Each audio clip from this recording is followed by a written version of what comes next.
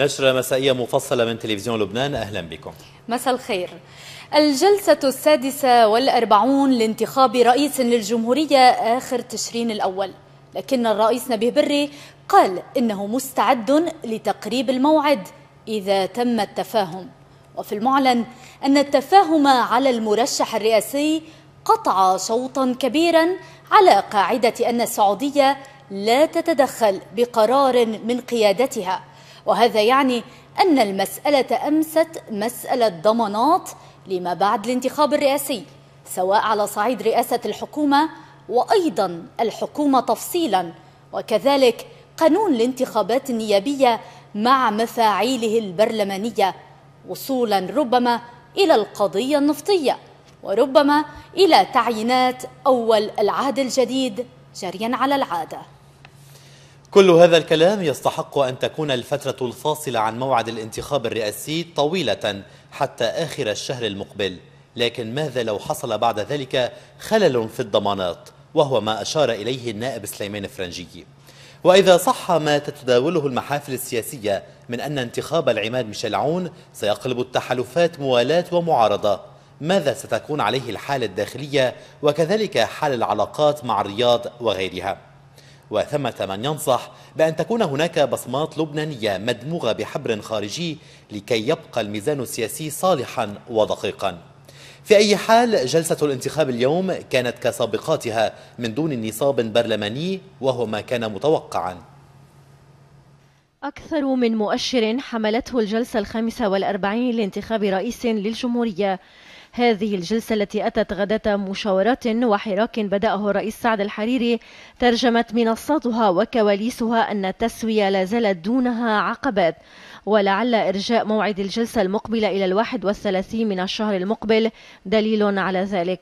مؤشر آخر لا يقول أهمية تمثل بإفاد النائب سليمان فرنجية لنائب الكتلة استفان دويه إلى الجلسة ليقول رسالة واضحة مفادها أن فرنجية متمسك بترشيحه لرئاسة البلاد. يستغرب البعض حضورنا اليوم ويسأل.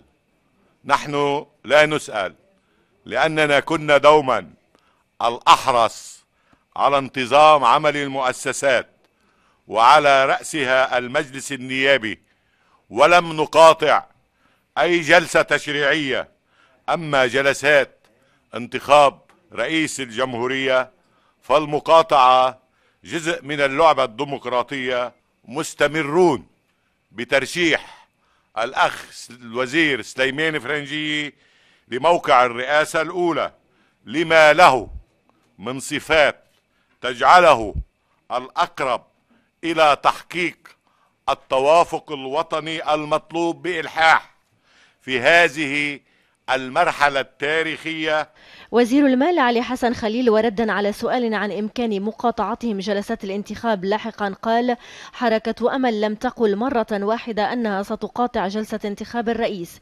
نواب تيار المستقبل التزموا الصمت على رغم جهود الإعلاميين للحصول منهم على معلومات. مصادرهم قالت لتلفزيون لبنان أن الرئيس الحريري لم يطرح العماد عون بالاسم وإنما طرح وجوب إنهاء الشغور الرئاسي. الخلوة المعتادة بين الرئيس فؤاد السنيورة والنائب جورج عدوان حصلت وفيما لم يشأ السنيورة الكلام ثمن عدوان مسعى الحريري لإنهاء الشغور أنا برأيي آه، على حزب الله أن يبذل الجهد المطلوب منه والإقناع المطلوب منه لحتى يرجع آه، يدفش قوة 8 أدار آه، فعلا باتجاه انتخاب العماد عون. النائب دوري شمعون قصد المنبر الصحفي ليقول إن المرشح الرئاسي عليه أن يستحصل على شهادة صحية بأنه قادر على العمل لساعات طويلة. الرئيس بري أكد أن التفاهمات السياسية هي المعبر للحل الذي يبدأ برئاسة الجمهورية ابتسام عكوش. لم يصل ملف رئاسة الجمهورية إلى المستوى الجدي وإلا شيء ملموسا في هذا الاستحقاق حتى الساعة رغم الاتصالات والمشاورات التي تجري والتي بدأها الرئيس سعد الحريري مع مختلف القوى السياسية المعنية بهذا الملف لتتوج بلقاء يجمعه في الساعات المقبلة مع رئيس مجلس النواب نبيه بري الذي لا يزال يصر على موقفه من السلة المتكاملة. في حين تؤكد مصادر مطلعة أن الأهم من انتخاب الرئيس هو التفاهم على رزمة أمور أولها قانون الانتخابات النيابية ولا انتخاب للرئيس خارج السلة أي بنود جدول أعمال طاولة الحوار. الرئيس بري شدد في لقاء الأربعاء النيابي على ضرورة الاتفاق على جملة تفاهمات سياسية تكون المعبر للحل المتكامل الذي يبدأ برئاسة الجمهورية مشيرا إلى أن ليس لديه شيء حتى الآن في شأن ما يثار ويقال حول الرئاسة والحراك الحاصل الآن. النائب إمين رحمي رأى أن هناك طبخة بدأ مشوارها وهذا المشوار يحتاج إلى المزيد من المشاورات وإلى تفاهم وإلى وقت أكثر. الاتصالات السياسية الاتصالات السياسية مستمرة على كل الصعد طبعا وهذا آه، يعني عم ينتج حراك حول الموضوع الرئاسي وحول كل القضايا المطروحة اليوم بالبلد. السلة متكاملة. رئاسة الجمهورية طبعا أساس ونحن عم نقول بس في قانون الانتخاب في تشكل الحكومة. هذه التفاهمات اللي آه، تم طرحها كبنود على طاولة الحوار بلقاء القوى ال 16 المكونات السياسية. وكان الرئيس بري قد التقى الأمينة العامة للمنظمة الدولية الفرنكوفونية ميكائيل جان التي أكدت أن اللقاء ركز على الشغور الرئاسي المستمر والمبادرات الحوارية التي تسمح بالوصول إلى تسوية وإمكانية السماح للشباب اللبناني بالمشاركة في هذا الحوار. وأضافت إن الفرنكوفونية أطلقت مبادرة أحرار معا وسنرى كيف سنطبقها في لبنان مع الشباب الفرنكوفوني 20 وفي إطار البحث في الاستحقاق الرئاسي والاحتمالات الممكنة للخروج من الأزمة القائمة زار الرئيس سعد الحريري رئيس حزب الكتاب النائب سامي الجميل في الصيف. وقد حضر اللقاء كل من الوزير السابق سليم الصايغ والنائب سامر سعادي ومستشاري الرئيس الحريري غطاس خوري وهاني حمود. وبعدها توجه المجتمعون إلى بكفية حيث تناولوا الغداء إلى مائدة الرئيس أمين الجميل واستكملت المباحثات بحضور النائب إلي ماروني والأمين العام لحزب الكتائب رفيقان. النائب سليمان فرنجي غرد عبر تويتر فقال إذا اتفق سعد الحريري معون وسماه لرئاسة الجمهورية سيحصد نفس النتيجة حينما سمى الرئيس الجميل عون رئيسا للحكومة عام 88 الرئيس ميشيل سليمان حذر من مغبة الإمعان عن سابق تصور وتصميم في عملية الإطاحة بالدستور مشددا على عدم إدخال الاستحقاق الرئاسي في بازار الحسابات المصلحية. حذر الرئيس العماد ميشيل سليمان خلال لقائه مع كتلته الوزارية من مغبة الإمعان عن سابق تصور وتصميم في عملية الإطاحة بالدستور عرض الحائط. وابتداع أعراف وقواعد لا تمت للسيرورة السياسية والاستقلالية للبنان بصلة. والتي كرسها الآباء المؤسسون الذين تعاهدوا على العيش معا في تفاعل بناء يكرس فرادة لبنان. وفي خلال سلسلة استقبالات ذات طابع سياسي ودبلوماسي ودولي في دارته في اليرزي رأى سليمان أنه من المعيب والمخجل إدخال الاستحقاق الرئاسي في بازار من الحسابات الشخصية والمصلحية التي تهدم موقع الرئاسة. ولا تبني وطنا مشددا على ضرورة تغليب المصلحة اللبنانية العليا على ما عداها من اعتبارات أخرى. وأكد سليمان أن المؤسسة العسكرية تبقى منارة الضوء والأمل التي هي محل رهان جميع اللبنانيين لكونها المؤسسة الوحيدة مع الأجهزة الأمنية الأخرى التي لها الدور الحاسم في الحفاظ على الأمن والاستقرار وحماية لبنان من التهديدات الإرهابية ببعديها التكفيري والإسرائيلي لذلك من غير المسموح ولا المقبول أن يتجرأ أي كان على إدخال الجيش في حفلة جنون التعطيل لا سيما على مستوى قيادته. الرئيس سليمان عرض مع رئيس الوزراء المصري الأسبق عصام شرف الوضع العربي والإقليمي الدولي والعلاقات الثنائية بين مصر ولبنان وبحث مع عضو كتلة المستقبل النيابية النائب زياد القادري في الوضع السياسي العام والوضع الإنمائي في منطقة البقاع. الرئيس سليمان استقبل سفير الاتحاد الروسي لدى لبنان ألكسندر زاسبكين وعرض العلاقات الثنائية والوضع في المنطقة ودور الدول الخمس الدائمة العضوية في مساعدة لبنان على مختلف الصعد عبر مجموعة الدعم الدولية للبنان في مواجهة عبء النازحين السوريين وفي مجال الدعم الاقتصادي والعسكري. والتقى سليمان سفير المملكة المغربية في زيارة وداعية بعد انتهاء مهامه الدبلوماسية وعرض مع قائد قوات الطوارئ الدولية المؤقتة في جنوب لبنان اليونيفيل الجنرال مايكل بيري لعمل هذه القوات في منطقة الجنوب مشددا على أهمية التعاون والتنسيق القائم بينها وبين الجيش اللبناني. وصل وفد مجلس الشيوخ الفرنسي برئاسة رئيسة مجموعة الصداقة الفرنسية اللبنانية برزة خياري لقاءاتهم مع المسؤولين اللبنانيين حاملا معه الدعوة لضرورة عودة المؤسسات إلى عملها وإيجاد حل لبناني لبناني للمشكلات المؤسساتية. فالتقى كل من الرئيس ميشيل سليمان ورئيس حزب الكتائب النائب سامي الجميل. من دار الفتوى النائب أحمد فتفت يعلن أن الرئيس الحريري يحاول جاهدا إيجاد مخرج للانتخابات الرئاسية لكن المشاورات لن تثمر في القريب العاجل. في مساعي لإيجاد مخرج آه، على صعيد الرئاسي ودولة الرئيس عبد الحريري عم يعمل جهد كتير كبير آه، إنما للأسف التعطيل ما زال في نفس المكان ما زال التعطيل قائم. أعتقد أنهم بخطأ كبير آه، إذا اعتقدوا أن على أننا على استعداد لأي تنازل على الصعيد السياسي. من جهة أخرى أنا لا أتوقع تطور لسبب مهم جدا. السبب المهم أننا نحن لا نعيش في عزلة في لبنان نعيش في هذه المنطقة. وهذه المنطقة وتحديدا ما يجري في سوريا هو ليس جو تسويات. وبالتالي هو جو للأسف هو جو صدام وتناحر عميق جدا. فلا أرى ما الذي سيؤدي بنا إلى تسوية. المهم أن نحافظ على الهدوء القائم في الوقت, في الوقت الحالي. النشرة مستمرة بعد الفاصل. أحييكم من جديد. استقبل رئيس مجلس الوزراء تمام سلام صباح اليوم في السراي الكبير النائبة بهية الحريري وعرض معها الأوضاع على الساحة الداخلية. واستقبل الرئيس سلام الأمين العام للمنظمة الدولية الفرنكوفونية ميكايل جان وتناول البحث الأوضاع الإقليمية. الرئيس سلام كان قد التقى صباحا أيضا سفير فيتنام لدى لبنان وتناول البحث العلاقات الثنائية. أكدت قيادتا حركة أمل وحزب الله في بيروت على ضرورة التنسيق والعمل المشترك لإنجاح إحياء ذكرى عاشوراء باعتبارها مناسبة للوحدة وتكاتف الصف أمام التحديات الراهنة وشددت القيادتان في اجتماعهما على ضرورة التزام القواعد الشعبية بالضوابط والسياسات الصادرة عنهما حرصا على حسن سير الأحياءات المتعددة. كما تطرقت القيادتان إلى التطورات المحلية والإقليمية مؤكدة الالتزام بخيار المقاومة والتنمية والتنديد بما تتعرض له المنطقة من مؤامرات على يد إسرائيل والمجموعات التكفيرية ووجوب الوقوف بوجهها لحماية شعبنا وأمتنا.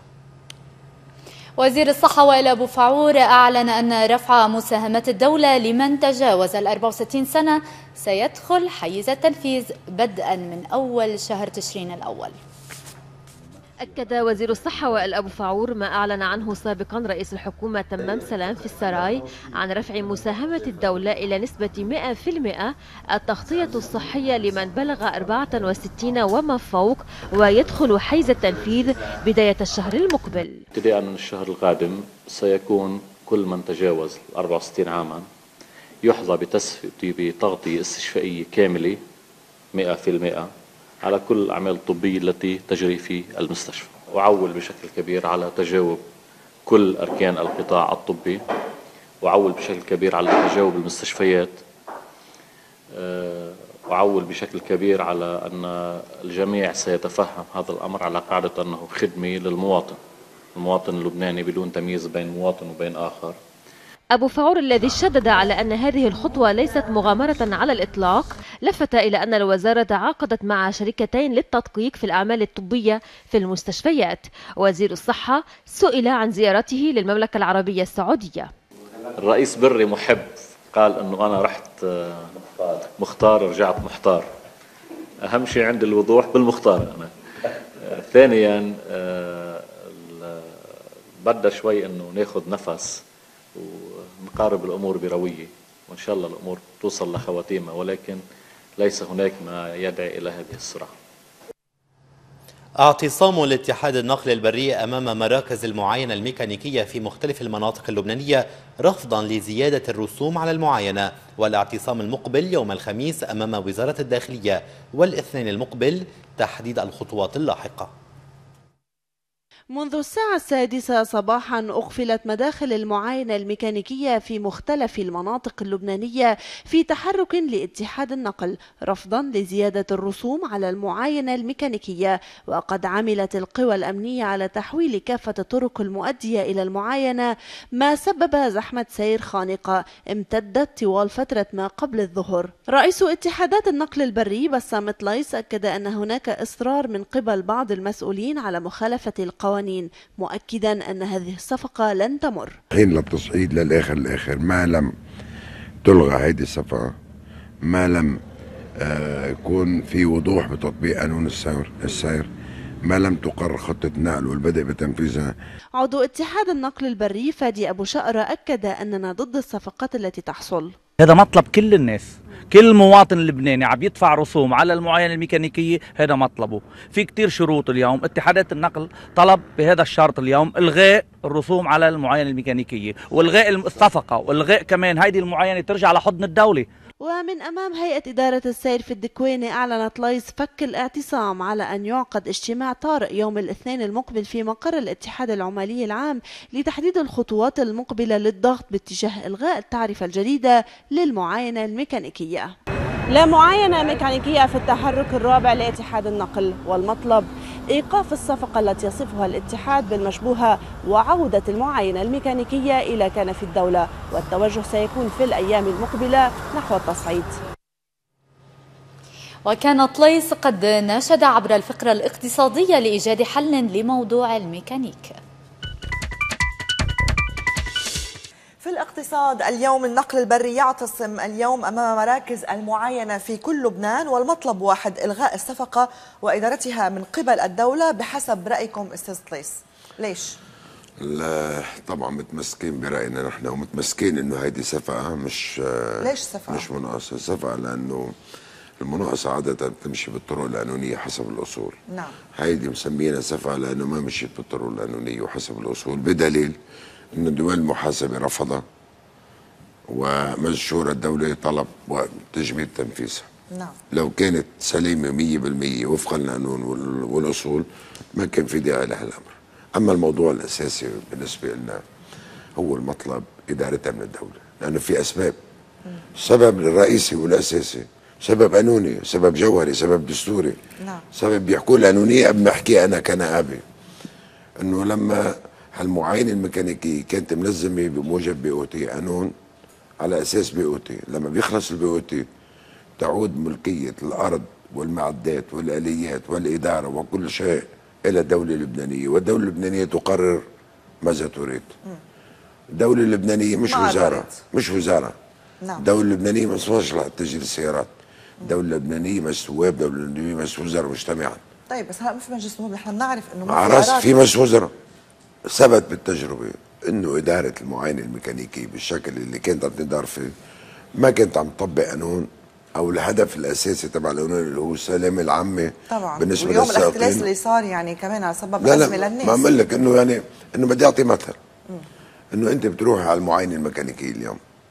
لتروح تعمل معاينة تطلع سيارتك ناجحة صالحة للسائل لتدفع رسم ميكانيك أو لتسجليها أو لتنقل ملكيتها إذا دولابك فاتل مش صالح. بتعرف إنه بده يوصل بتستأجر الدولاب قدام الباب ب 2000 ليرة بتفوت بتنجح السيارة بترد الدولاب للزلمة قدام الباب وترجع بتطلع بنفس السيارة. وبتعمل اكسيدون وبيموت الواحد إيه ما في مشكلة. بس بكون معك ورقة إنه سيارتك صالحة للسير هذا طيب هذا يا هذا هذا هو هدف لأنه. اثنين موضوع موضوع المالي موضوع المادي. نعم. إنه نحن شو عم نطالب؟ عم نطالب إنه هالاموال اللي عم ندفعها للمعاينه الميكانيكية تروح على الخزينة اللبنانية. لأنه اليوم المصاري اللي عم تندفع. فقط التي في عم تاخذها الخزينة اللبنانية والباقي عم تاخذ الشركة. مؤخرا الله وجهه الخير. الوزير الشربي لما كان وزير الداخلية فرض 4000 ليرة عليهم فوق التبعة. نعم. طيب إنه تروح على الدولة اللبنانية خزينة الدولة اللبنانية وخجدوا بالدوبة بقى إنه الدولة اللبنانية دايرة من مطرح لمطرحها بدنا نشحت باسم الجيش وبدنا نلم باسم قوى الامن الداخلي وبدنا نلم باسم قوى الأجهزة الحل باختصار. روحوا. الحل باختصار. اليوم اعتصمتوا. شو مطالبكم؟ مطلبنا الرئيسي هو بعد ما صار في قرار مشورة دولي بتجميد تنفيذ هيدي الصفقة نعم. بدنا قرار بإلغائها من قبل مجلس من قبل السلطات برأيكم رح يلغوها؟ بدها تلتغى. بدها تلتغى لأنه هي معمولة خلافا لنا وأخبار محلية متفرقة. الرئيس نجيب ميقاتي زار القصر البلدي في طرابلس داعيا إلى وضع خطة تحدد آليات النهوض بالمدينة وإيجاد حلول لمشكلاتها. برعاية وزير الصناعة حسين الحاج حسن أقامت مدارس المهدي تكريما لباقة من تلامذتها. الحاج حسن قدر عاليا الإنجازات الأمنية اللبنانية بكشف الشبكات الإرهابية. المدير العام للأمن العام اللواء عباس إبراهيم التقى السفير الجديد لجمهورية مصر العربية في لبنان نزيه النجاري في زيارة تعارفية وعرض معه الأوضاع العامة. إعادة الاندماج الاجتماعي للسجينات بعد خروجهن من السجن. عنوان ندوة الاقتصاديين في غرفة التجارة والصناعة والزراعة في بيروت أقامتها جمعية دار الأمل بالشراكة مع مؤسسة دياكونا وبالتعاون مع وزارة الشؤون الاجتماعية والمديرية العامة لقوى الأمن الداخلي. الكلمات عرضت مشروع إعادة تأهيل السجينات من خلال تأمين فرص عمل لهن فيما يتيح المجال للاتكال على الذات. عقد وفد من حملة عكار لعيونك توحدنا اجتماعا مع محافظ عكار عماد لبكي حيث أبدى الوفد استياءه الشديد من الإهمال اللاحق بمدخل العبد عكار الذي تحول إلى مكاب للنفايات نظمت شبكة عكار للتنمية بالتنسيق مع مكتب التنمية المحلية LDO في عكار لقاء على الشاطئ في منطقة المقيطع للاطلاع على أعمال التنظيف التي تقوم بها الجمعية ضمن مشروع المال مقابل خدمة المجتمعات. الأخبار العربية والدولية بعد هذا الفاصل. أحييكم من جديد. وفي سوريا تستمر الاشتباكات في شكل عنيف خصوصا على المحاور الشمالية والشرقية لمدينة حلب. وبن كيمون يصف الوضع في حلب بأسوأ من مجزرة.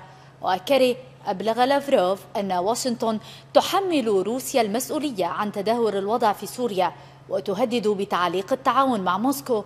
في الملف السوري. طبول معركة حلب المدينة تقرع بقوة مع حشد الجيش السوري قواته في محاولة للتقدم عبر محاور عدة بعدما ثبت نقاطه في حي الفرافرة شمال غرب قلعة حلب. التحضير لمعركة داخل حلب يتزامن مع استمرار الغارات السورية والروسية على الأحياء الشرقية المحاصرة والتي أسفرت عن سقوط عدد من القتلى والجرحى. وسط اتهامات باستخدام القنابل الفوسفورية والعنقودية والبراميل المتفجرة. في المقابل وفي تغيير نوعي أفاد قيادي بالمعارضة السورية وفق ما نقلت وكالات الأنباء أن دولا أجنبية زودت مقاتلي المعارضة بكميات ممتازة من صواريخ جراد ردا على الهجوم. ارتفاع صوت المعارك في حلب دفع بفرنسا إلى اقتراح إصدار قرار من مجلس الأمن لوقف إطلاق النار. لافتة على لسان وزير خارجيتها جان مارك إيرو إلى أن من يرفض التصويت في مجلس الأمن سيكون متهما بارتكاب جرائم حرب. وفي مجال آخر رفضت قافلة مساعدات تابعة للأمم المتحدة دخول مدينة الرستن في ريف حمص الشمالي عقب استهداف طائرات الجيش السوري لطريق كان من المقرر أن تسلكه بحسب مصادر المعارضة. في المقابل أعلن مصدر عسكري حكومي مقتل وإصابة أعداد من المسلحين في تلبيسة والرستن في ريف حمص. من الميدان إلى السياسة وإعلان وزارة الخارجية الإيرانية أن المشاركة العسكرية الروسية في سوريا حالت دون تقسيمها وأعادت التوازن إلى المنطقة. قبل متابعة النشر نشير إلى أن رئيس اللقاء الديمقراطي النائب وليد جنبلاط زار في هذه الأثناء بيت الوسط للقاء الرئيس سعد الحريري. في أخبار اليمن فتحت القوات السعودية نيرانها على تحركات لعناصر الحوثي وقوات المخلوع صالح قبالة قطاع الحرث. في غضون ذلك شنت مقاتلات التحالف عدة غارات على معسكرات ومواقع الحوثي في العاصمة صنعاء. كما طالت الغارات أيضا معسكر الاستقبال في مديرية همدان شمال غربي العاصمة. إلى ذلك اعتقلت ميليشيات الحوثي العشرات من موظفي وزارة الاتصالات في صنعاء وذلك في محاولة لفض احتجاجات على نهب الأموال العامة لتمويل عمليات المتمردين. أخبار دولية متفرقة في التقرير الآتي. نقلت وسائل إعلام أمريكية عن البيانات الأولية لشركة نيلسون للمعلومات أن عدد مشاهدي التلفزيون للمناظرة الأولى بين المرشحة الديمقراطية هيلاري كلينتون ومنافسها الجمهوري دونالد ترامب يبدو أنه سيقترب من الرقم القياسي المسجل في عام 1980 والبالغ 80 مليون مشاهد. ولكن البيانات الأولية من أربع شبكات بث تشير إلى أن المناظرة التي استمرت 90 دقيقة يوم الاثنين الماضي ونقلتها العديد من الشبكات الأمريكية لن تتخطى حاجز 100 مليون مشاهد. من المنتظر أن تشرع سلطات موسكو في استبدال منتجات مايكروسوفت بأنظمة محلية الصنع بعد إلحاح الرئيس الروسي فلاديمير بوتين على وقف الاعتماد على التكنولوجيا الأجنبية ما يعني أن مايكروسوفت ستفقد عددا كبيرا من زبائنها في العاصمة الروسية. سان لوران يميز أسبوع الموضة على المسارح الفرنسية برونق الحب والجمال والأناقة والذوق الرفيع. عارضات متألقات عكسنا روعة التصميم